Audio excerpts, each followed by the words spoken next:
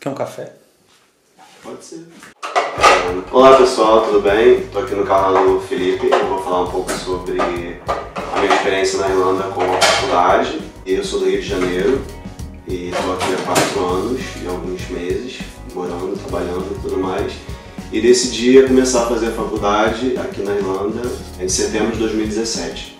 A princípio não foi muito fácil, porque eu tinha medo da língua, não dominava muito o inglês e tal, era super difícil para mim, tudo mais, e não sabia como que seria a minha vida estudando em uma outra língua, aprendendo coisas novas, coisas que eu nunca tive a oportunidade de ver na vida, e que você só aprende na faculdade. Faculdade em si tem um nome pesado, porque tipo, você acha que é um bicho de sete cabeças, né?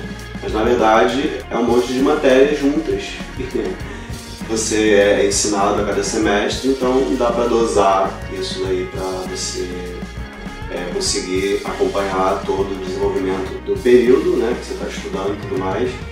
A língua depois passou a, a não ser uma, uma dificuldade muito grande, não ser o maior problema, porque você consegue entender tudo que o professor está falando, informática em si, tecnologia, e você tem um acesso muito grande, porque tem uma vasta quantidade de material disponível na internet em várias línguas. Se você não estiver confortável com o inglês, você pode pegar no, inglês, no português e, e você vai entender, você vai dominar aquele assunto, por mais que você esteja estudando em inglês e tudo mais. E vai praticar mais inglês, seu inglês vai melhorar muito, vai evoluir bastante e tudo mais. E é isso. Boa, agora eu posso fazer um café.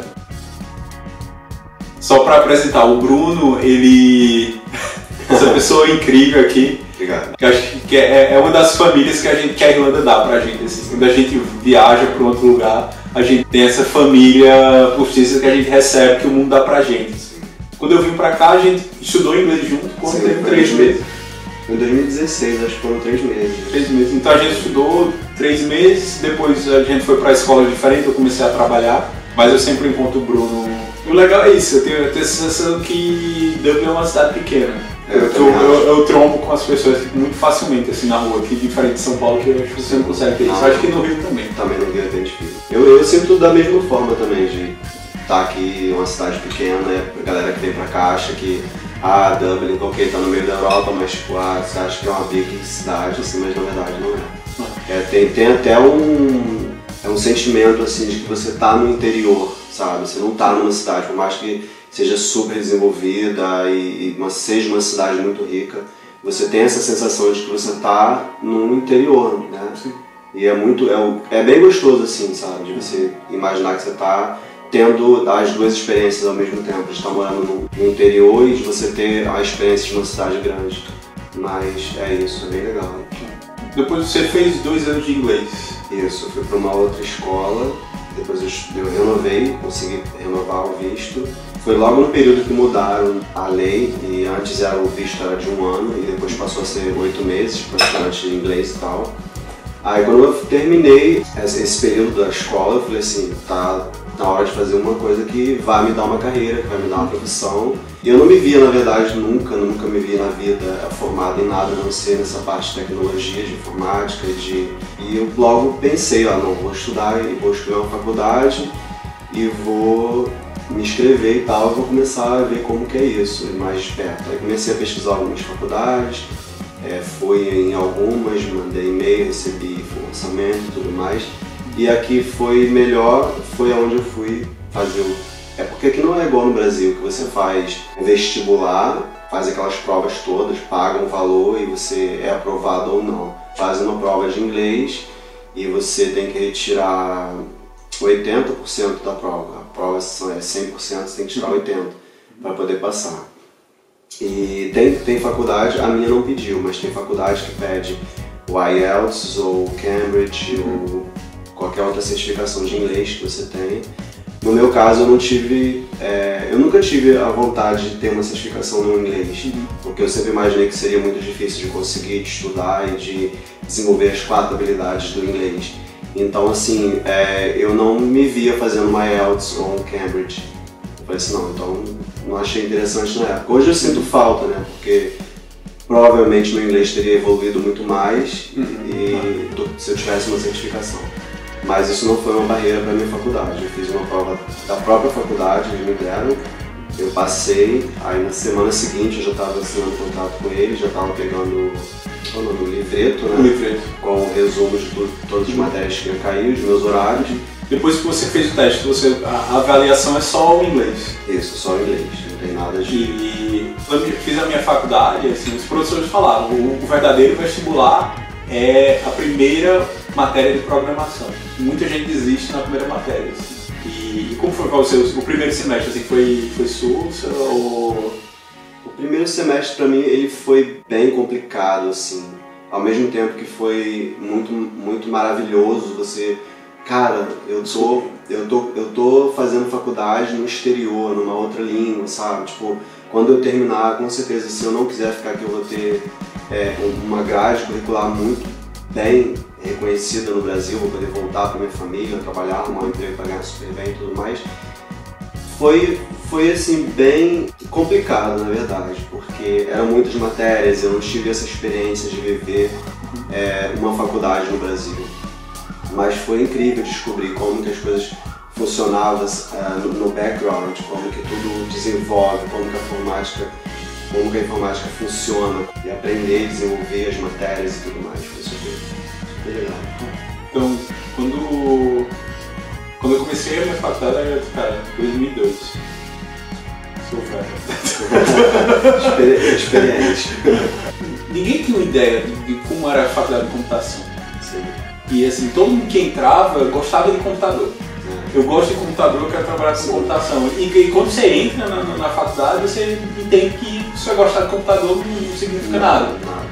Exige muita parte lógica, Sim. exige muita parte de você abstrair problemas, uhum. exige muito matemática. Sim. E assim, tem coisa da formação da gente que a gente simplesmente ignora, porque ninguém chega pra gente e diz, olha, se você quiser trabalhar com computação, você precisa estudar isso sei lá, trigonometria ou isso aqui vai ser importante, estatística, isso vai ser importante quando você entrar na faculdade de tecnologia, mas assim, hoje pode ser que a coisa mudou, mas no meu tempo não, não sentia, assim, você terminava a faculdade pra, na, na, minha cidade, ou eu, você fazia odonto ou você fazia direito, ou você fazia alguma outra coisa.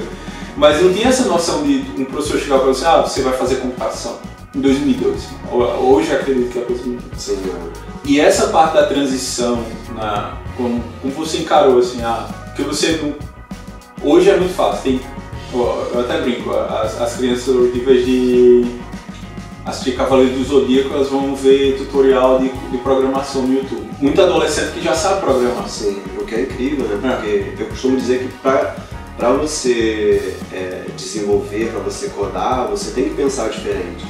O ser humano, o, cara tem que ser meio que fantástico, porque tipo, é, é, trazer as situações do dia a dia e colocar de uma forma abstrata ali, fazer aquilo tudo se comunicar entre si, fazer o programa funcionar, isso é incrível, sabe? Então eu acho que a, a matemática entra muito nisso, né? Porque é muita, é muita lógica, sabe? Uma vez que você aprendeu como que o código funciona, o que, que cada coisa funciona, fica mais fácil para você saber o que você tem que fazer. Né? Então você tem que dedicar muitas horas estudando para você conseguir fazer aquilo de uma forma é, mais rápida ou mais é, exata, assim? Como é a, a diversidade, assim, você, na, na, sua turma, tem, como é formada? Tem muito, muito quem, quem, quem quem conhece, quem não conhece Dublin, Dublin, assim, se você anda em Dublin, você vai ver muito brasileiro. E, e assim, Dublin é uma cidade internacional.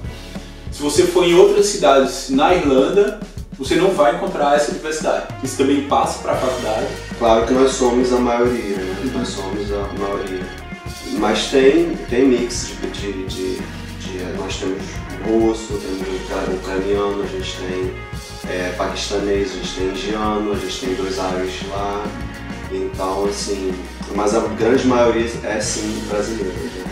É, a gente fala que é uma faculdade de brasileiros, que a maioria é brasileira.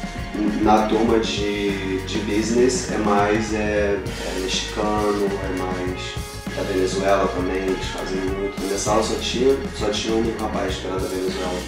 Mas tem sim esse, esse mix, mas não chega a ser é, tão grande, porque a maioria somos, somos nós os brasileiros. Né? Uhum. Então quer dizer que na, na, sua faculdade a maioria é brasileira? A maioria é brasileira. Na parte de TI, sim, e na outra parte a maioria é, Spanish speakers. Assim, outra, falando de Dublin novamente, geralmente quando você tá andando na rua assim e você é brasileiro, a galera pergunta, ah, você tá estudando? Aí eu falo, não, tô trabalhando.